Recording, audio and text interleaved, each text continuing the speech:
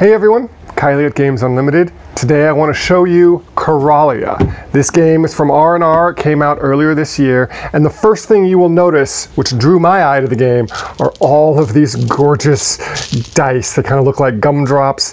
These are custom dice. They have uh, images printed on each side, so it's not a standard D6. When I saw this, that's what drew me to it. Said, how do you play this game? How does this work?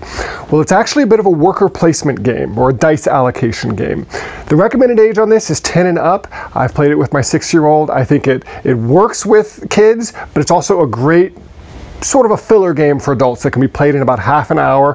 Pretty easy to set up. What you're doing is on your turn, you're gonna have four dice and you're gonna roll them.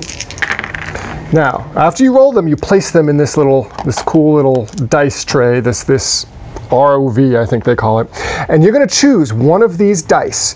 The color is gonna determine which of the coral reefs it can go on, there's six of them, and the symbol on it determines what you're gonna do with it. So I might take this green fish, place it on the green fish area. I can do that because there wasn't a die there. Now, in the future, no one else can place a green fish, so you're blocking off that spot. The fish is going to let me draw a couple of fish cards. These are the fish, this is the fish pile, and I'll choose one of them to keep. The fish are one of the ways you get points in the game. It's a set collection. The more different types of fish you get, the more points you'll get.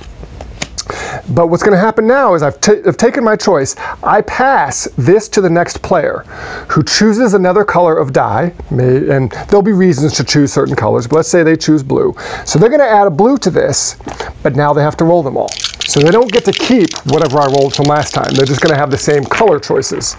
So these are rolled, and so now maybe I can take, well, let's take this purple uh, clamshell, oyster shell. That's going to get you a pearl. Lets you draw uh, two pearl cards to add to your hand. Okay. Now the pearls at the end of the game, you're going to add up the total amount of pearl points you have. The player with the most pearl points is going to get to score their highest four. Second most gets to score their highest two. Everyone else can only score one of their pearl cards. So there's a bit of a race there for that. Once again, you take these, pass it to the next player who's going to choose a color to add. Let's say I'll add yellow roll the dice, make a choice. So I'm going to go over some of the other things. We talked about the fish and the uh, oysters there, the pearls. You've also got the scuba divers. These are fun. When you place a scuba diver, you'll get to take your player token, say I'm yellow, and place him there. What that's doing is you are uh, searching that reef, at the end of the game, you're going to get points based on how many dice have been placed on that reef. So by putting a scuba diver there early, you're sort of claiming and hoping more red dice get placed because it's going to give you points. Or maybe you wait and place your diver later in the game on a reef that already has points. But you also have a reason to move. So you only have one diver.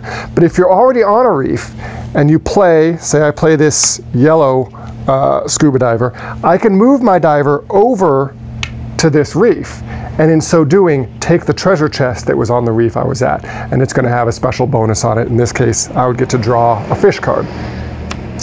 Other things, the turtles, one of my favorite parts of the game because they remind me of the turtles from Finding Nemo.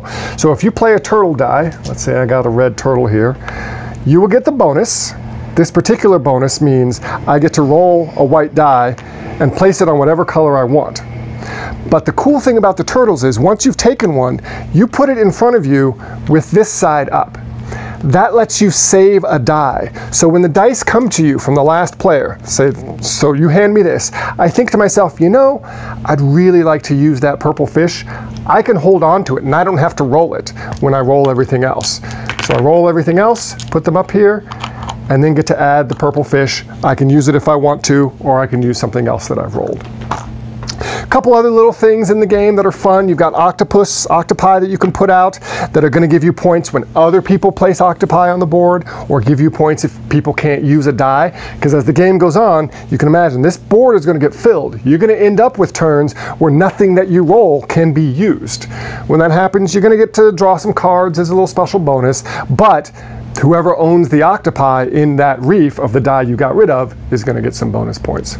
So it's a great little game, easy to learn, plays in about half an hour. Like I said, it feels like just a great little filler when played with adults, can also be played with kids. I think this one's not getting nearly uh, the, the press that it deserves. I think just looking at those gorgeous dice are going to make you interested in it. It's a fairly inexpensive game. I'll have a link. You can purchase it on our e-commerce store for curbside pickup right now. That's Coralia from R&R Games. I'm Kylie at Games Unlimited, and as always, go play some games.